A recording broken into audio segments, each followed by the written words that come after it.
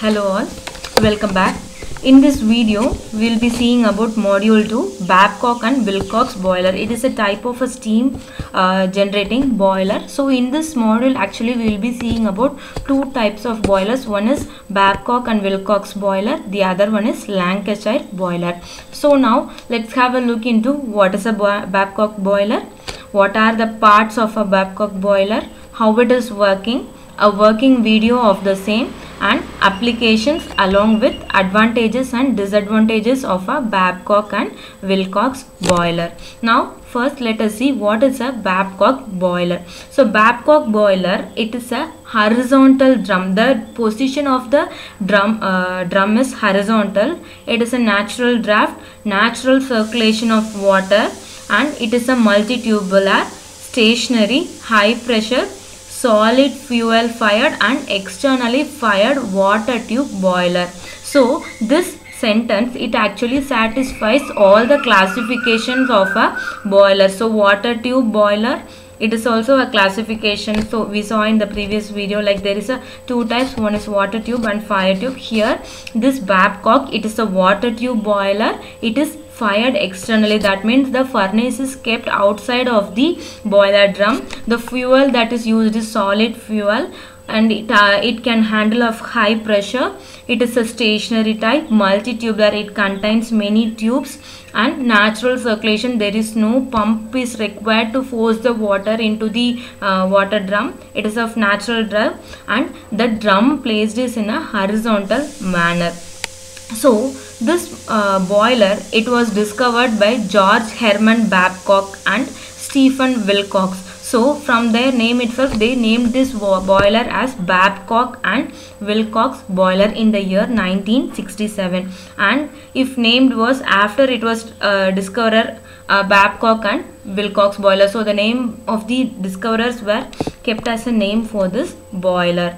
So this is the uh, sketch of a Babcock and Wilcox boiler. So you can see a water drum where it is filled with water but the water should not be completely filled. So we are using a water level indicator and uh, there are multi-tubulars. They are told like it's a multi-tubular. See you can see here many tubes and it is externally fired. The chimney is placed in the outside of the drum to heat the water tubes and it is water tube boiler. So uh, this hot gases, the hot gases by burning the furnace uh, the solid fuel by burning the solid fuel the gases are surrounding the water tube so it is a water tube boiler and there is a steam stop valve safety valve feed check valve uptake header superheater water tubes downtake header damper and a blow off valve along with a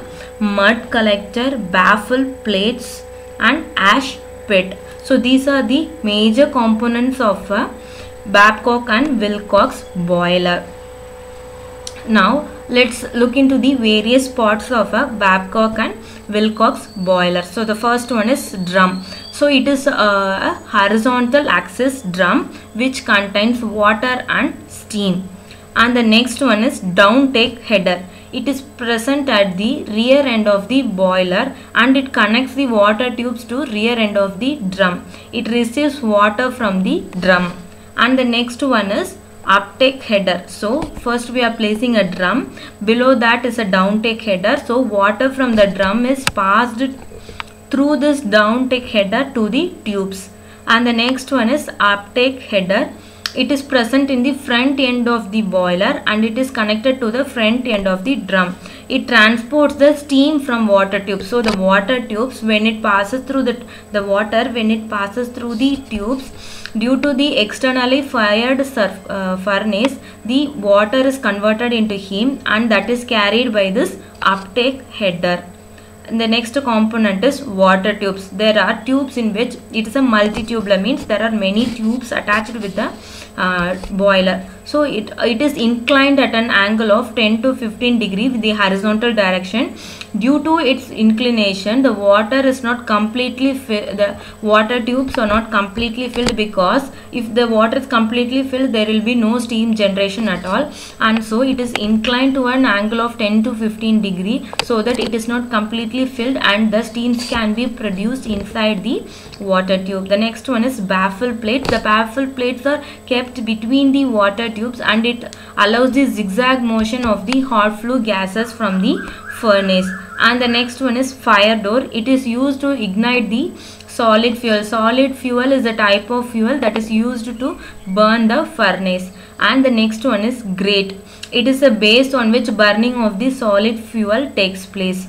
And the next part is mud collector. It is present at uh, bottom of a header and used to collect the mud present in the water and next component is feed check valve. It is used to fill the water into drum. And and the last component is damper. It regulates the flow of air in the boiler. So this is about the parts of the boiler. And we uh, if a boiler there should be some mountings and accessories used in that. So uh, if, if you look into that so the first one is superheater. It increases the temperature of a superheated steam to required temperature before discharging it from a steam stop valve. Next pressure gas. It is used to check the pressure of the steam within the boiler drum in order to avoid any accidents Next one is water level indicator. It shows the level of water within the drum. And the next one is safety valve. It acts as when the pressure is more, it uh, helps in releasing the pressure to avoid the accidents. So these are about the boiler mountings and accessories which are used in Babcock and Wilcox boiler. So uh, now let's look into how the Babcock and Wilcox boiler works. First, the water starts to come in the water tubes from drum. The water is filled in the drum and from um, uh, drum with the help of a down header, the water uh, reaches the tubes. The water is present in the inclined tube gets heated by the hot flue gases. So, the externally fired furnaces with the help of a solid fuel, uh, the hot gases are produced and it passes through between the tubes and that helps in heating the water present inside the water tubes. As the hot flue gases come in contact with the water tubes, it exchange heat with the um, water and converts that water present in the tube into steams. The steam generated is moved upward through uptake header and it is collected at upper side of the boiler drum. An anti-priming pipe is provided in the drum. This pipe filters the water and content and allows only dry steam to enter into the superheater. The superheater receives the water-free steam uh, from the anti-priming pipe it increases the temperature of the steam to desired level and transfer it to the steam stop valve. The superheated steam from the steam stop valve is either collected in a steam drum or made to strike on the steam turbine. So either it is collected in a drum or a, uh, it is directly sent to a steam turbine for the electricity generation. Now let's have a look into a, a video which shows the working of a Babcock and Wilcox boiler. So this is the construction and working of a boiler. So here this is a water drum, boiler drum which is filled up with the water and we are using a water level indicator to see, check the level of the water. So through this downtake header the water enters the tube and the tubes are placed in an uh, inclined at an angle of 10 to 15 degrees and uh, the externally fired furnace it heats up with the help of a solid fuel and it passes so this uh, solid fuel is nothing but the coal.